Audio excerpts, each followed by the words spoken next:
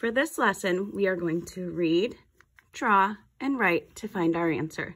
So first, let's read the word problem. Bella spilled some pencils on the carpet. Gino came over to help her pick them up. Gino found five pencils under the desk, and Bella found four by the door. How many pencils did they find together? Draw a math picture and write a number bond and a number sentence that tells about the story. We read through once, but I'm going to read through again, and this time I'm going to circle the numbers that we're going to use and underline any of our keywords that help me figure out if we're going to add or subtract for this problem. Bella spilled some pencils on the carpet. Gino came over to help her pick them up. Gino found five pencils under the desk and Bella found four by the door. How many pencils did they find together.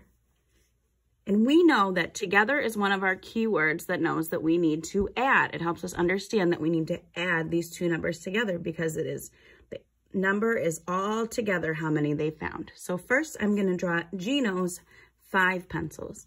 I like to draw circles because it's quick, easy, nice, and neat. So there are Gino's five pencils. Bella found four by the door. So I'm going to draw Bella's four pencils, but I like to color in the second row so that I can see what ones I've added in.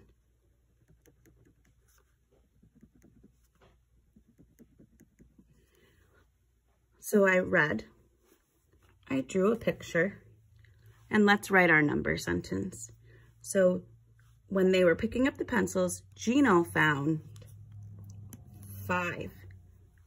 One, two, three, four, five. Bella found four. One, two, three, four. And we know that together means we're going to add. So to find our answer, let's count up all the pencils. We've been practicing counting on and we know that in our five row groups that the top is five. So we can say five, six, seven, eight, nine. All together, Bella and Gino have nine pencils. They would also like us to show a number bond. So we know that the top of the number bond is going to be our whole number or the number that is all of the numbers put together. And then we have two parts. So we have part, part, whole. So we know our whole number is our biggest number and that is nine. And we know the two smaller numbers that it took to get to 9 this time were 5 and 4.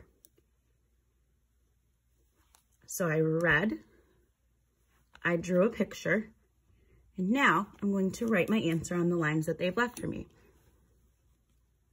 Draw a math picture and write a number bond and a number sentence that tells about the story. There's my number bond.